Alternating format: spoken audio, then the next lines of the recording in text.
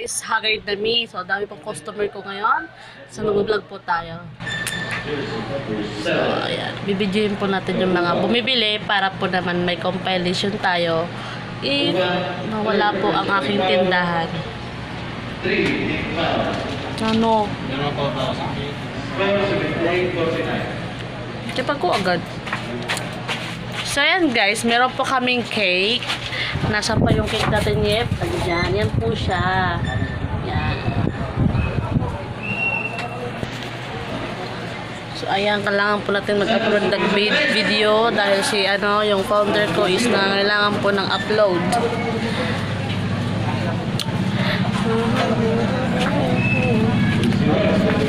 So, ayan. So, ito, ito po yung ano, yung water jug. So, ang gamit ko po dito is ito.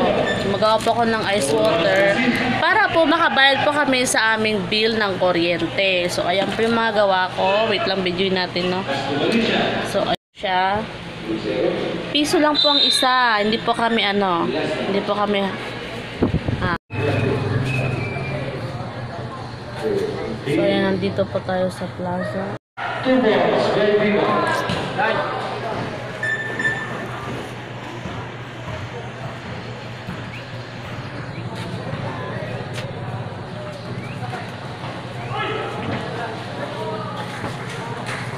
three balls.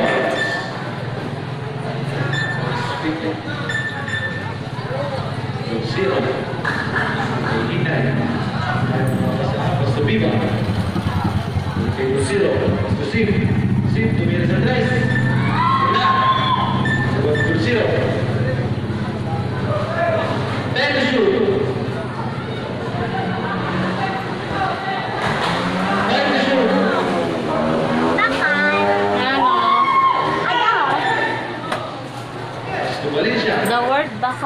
By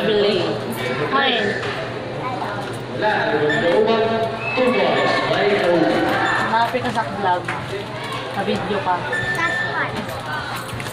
Hindi po siya nakakaintindi. Tayo nag-jamming. Man, jamming! Ah, ato ka sa video. Chinchin, ato ka sa video. Ha, mga cellphone ko. Two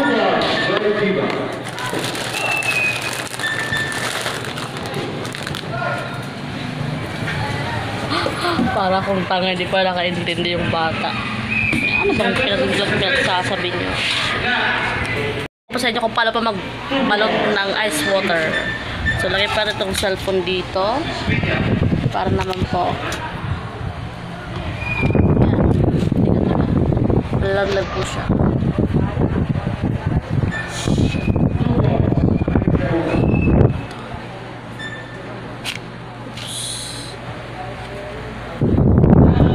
Two minutes.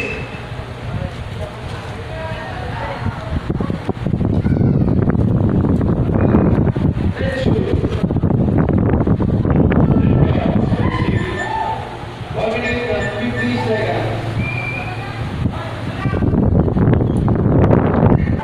So, so ito po, kuha po tayo ng um, wrap, uh, wrapper ng ice water. Ice tubig. So.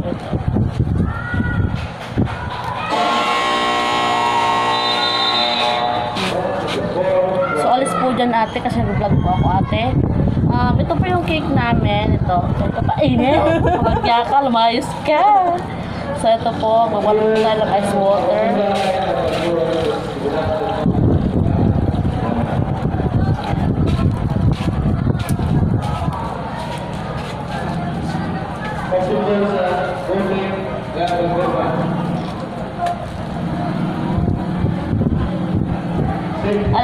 Po, naka 3,000 na po kami nakita sa sa ice water pambayad sa kuryente. So, nakabayad na kami kaya ng ano namin, ng bill namin sa kuryente. 3,000 yun. Ito po na dapat hinihiknat mo. Yan.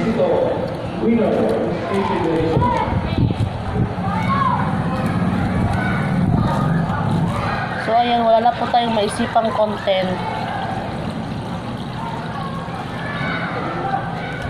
Maganda pong gumawa ng ice water kasi nasa tapat lang kami ng ano, covered court. So, maraming bumibili kasi maraming nauuhaw kapag yon maglalaro or katapos maglaro ng basketball.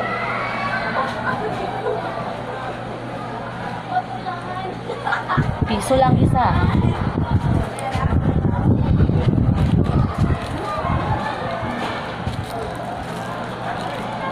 Ah! Lampas.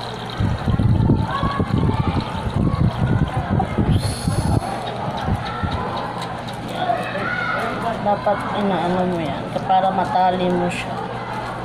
Hihikatin para umulat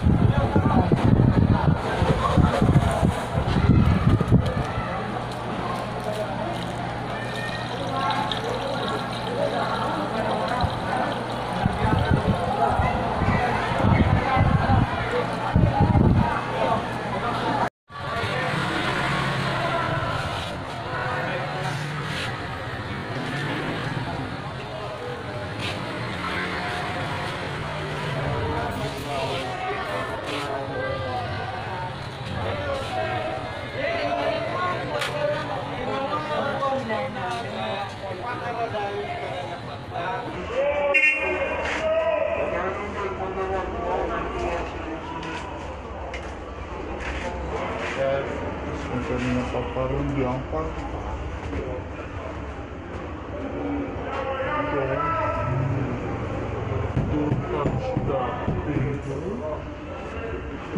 Charot, Lisa. Ba't ka nag-English ngayon? Ewan. labo ng camera ko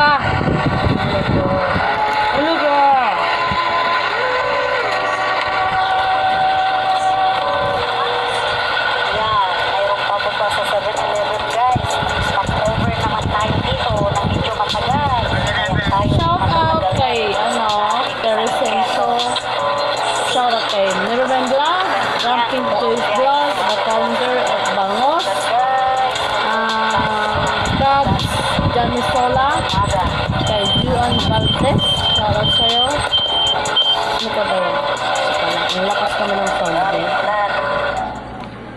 Kay ano, sino ba yan ha? Kay friend mo to, kay Ashin TV, shout out sa inyo. So, ang gagawin ko ngayon, mag-video lang po. Dahil binigyan po ako ng slot sa hindi kulab. Yep, luwaya yan. Bablog ako. So, ang gagawin ko, wala.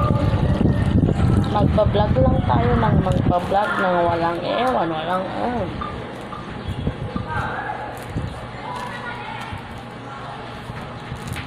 So, ayan, malapit ng election.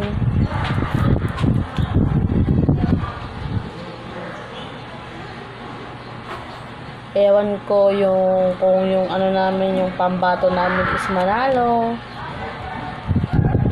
Kasi magkapatid ang magkalaban. Kaya ang pangit no? Magkapatid ay magkalaban. Bakit kaya? So yung dating ano, yung dating mayor is yung ano yung nakakatandang kapatid. So, last last time, pinatakbo niya yung, ano niya, yung nakakabatang kapatid niya. So, nanalo siya sa, kala, sa mga kalaban. Kaso ngayong taon, kinakalaban na siya ngayon ng kanyang nakakabatang kapatid. Yan yung masaklap. Kasi yung mga tao ng daddy nila, ewan ko kung tama yung narinig ko, di lang ako sure. Okay, di naman ako taga dito. Bagong, ano lang ako, bagong lipat lang. Is, niremove na, niremove niya bilang GO. Ano bang, ano bang ibig sabihin ng GO? Ah, hindi ko rin alam. Ayan. So, yun. So, ah, sabi walang pinipili. Pero bakit ang daming pinili?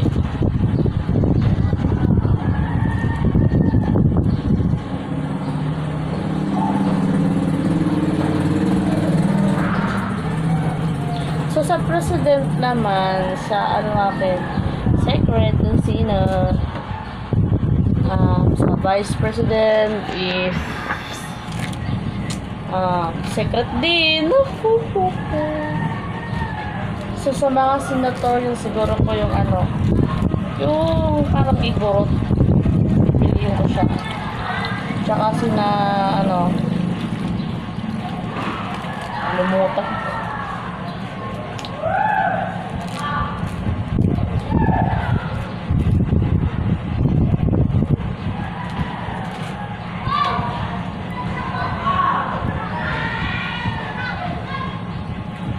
So sa panahon ngayon, hindi ka mananalo kapag hindi ka mapera.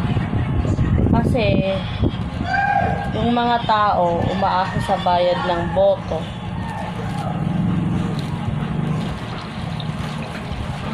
Yun.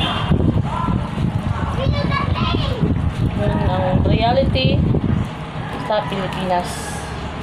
Kapag wala kang pera, hindi ka mananalo. Si BBM ngayon parang ano parang lumalakas. Ewan lang hindi ko lang sure. Pero hindi siya ang bobotosin. Kasi ano eh parang nakaka-turn off yung pamilya niya. Para sa akin lang. So ayan nag-start na mga ano pink lawan para sa rally nilang mamaya para sa kanilang mayor.